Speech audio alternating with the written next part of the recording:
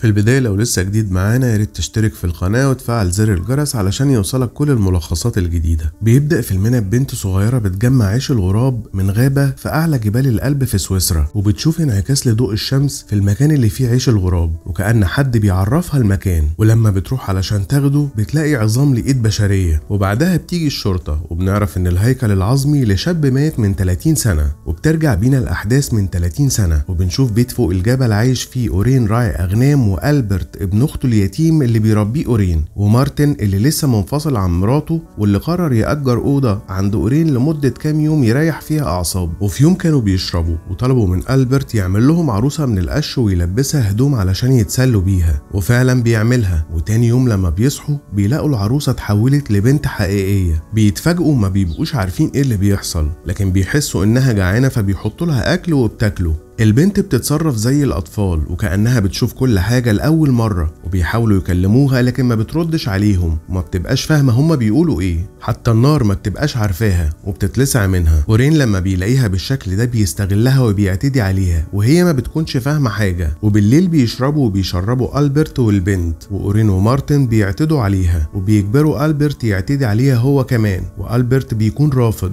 والبنت من غضبها بتعض إيد مارتن عضة جامدة جدا وبتستناهم يناموا ومن الغضب اللي جواها من اللي بيعملوه معاها بتاخد سكينة وبتروح تموت الخرفان بتاعت أورين. بيصحى أورين وبيشوف الخرفان مذبوحة وبيبقى متأكد إن البنت هي اللي عملت كده لأنها كانت شافته في مرة وهو بيذبح وبيسلق خروف وأكيد عرفت الطريقة منه وبيروح يدور عليها وما بيلاقيهاش. مارتن بيعرف مكانها وبياخدها وبيخبيها في المخزن.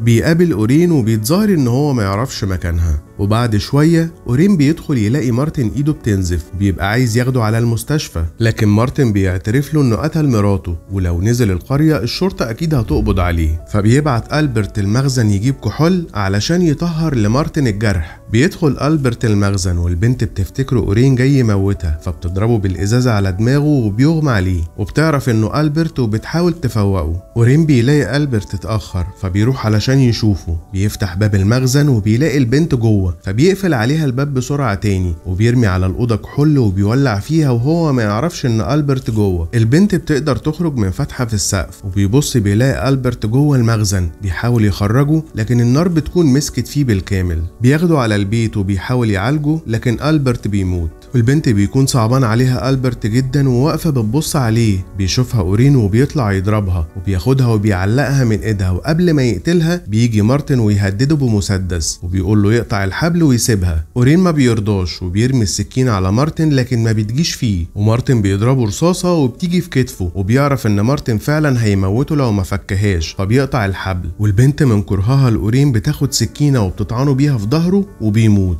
مارتن بيكون مصدوم وبيحاول يموت البنت لكن بتصعب عليه وما بيقدرش يموتها وبيغمى عليه بسبب التلوث اللي جاله من الجرح اللي في إيده. بيصحى مارتن الصبح وبيكون تعبان جدا وبيقول للبنت إن هو محتاج دواء علشان إيده وهي بتفهم وبتنزل للقرية علشان تجيب له دواء. وفي نفس التوقيت أهل القرية بيكونوا راجعين من جنازة. قص في الكنيسة كان ميت منتحر وبيشوفوا البنت واقفة وشكلها ولبسها غريب جدا وبيغمى عليها من شدة التعب. الظابط بيروح يشيلها وبياخدها على الاسم وبيجيب لها الدكتور والدكتور بيطمنه إنها كويسة لكن بيكونوا مستغربين من تصرفاتها وإنها ما بتتكلمش. الظابط بياخدها حانة متجمع فيها أهل القرية وبيسأل مرات العمدة لو تقدر توفر لها مكان تعيش فيه لغاية ما يعرفوا حكايتها إيه. لكن مرات العمدة بيكون واضح عليها إنها مش حباها وأهل القرية بيشكوا إنها ليها علاقة بموت القس. مرات العمدة بتقول للظابط إنها شاكة إن البنت تكون جاية من عند أورين اللي عايش فوق الجبل لأنها لما أغمى عليها وقع منها تمثال على شكل خروف. الظابط بيحط البنت في الحبس علشان ما تتعاملش مع حد وبيطلع الجبل وبيروح بيت أورين بس ما بيلاقيش حد وبيسيب رسالة لأورين وبيمشي وبتظهر إيد على الشباك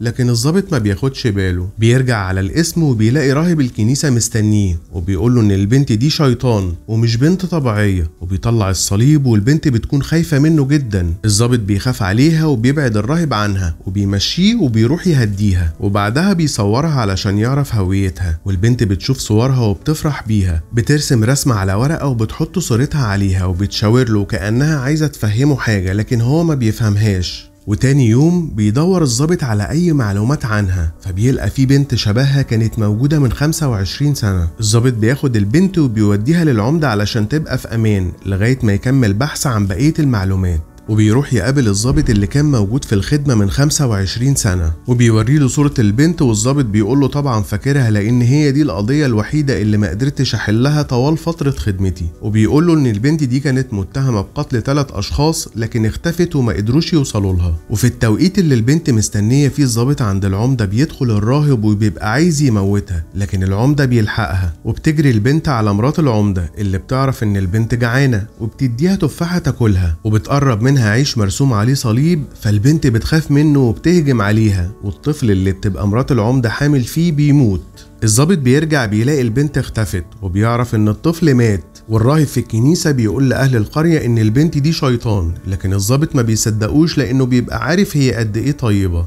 بيرجع بيته وبيلاقي البنت وبياخدها علشان يهربها لكن وهم في الطريق بيعملوا حادثة وأهل القرية بيشوفوهم. وبيكونوا عايزين يموتوا البنت لأنهم صدقوا كلام الراهب خصوصا بعد ما الطفل مات. بيمسكوا الظابط وبيضربوه والبنت بتهرب وبترجع على الجبل. بيرجع الظابط على بيته وبيشوف الرسمة اللي كانت رسمها البنت وبيفهم إن الراهب عايز يموتها. فبيروح بيت الراهب وبيدخل من غير ما حد يشوفه وبيلاقي باب سري المكان تحت الأرض. وبيشوف على الجدران رسومات غريبة وبيشوف الرسمة اللي كانت البنت رسماها. وبيلاقي سرير صغير وعليه عروسة وبيعرف إن كان هنا بنت صغيرة محبوسة. يروح يقبض على الراهب وبيعترف له إنه من 25 سنة اعتدى على بنت وحملت منه وهربت وعاشت فوق الجبل ولما قدر يعرف مكانها كانت ولدت بنت وراح لها واخد البنت منها وحرق البيت اللي كانت عايشة فيه ومات بسبب الحريق ثلاث أشخاص كانوا موجودين جوه البيت. لكن هي قدرت تهرب وفضل يجري وراها لغاية ما وقعت من فوق الجبل والغريب إنه ما لقاش جثتها في أي مكان.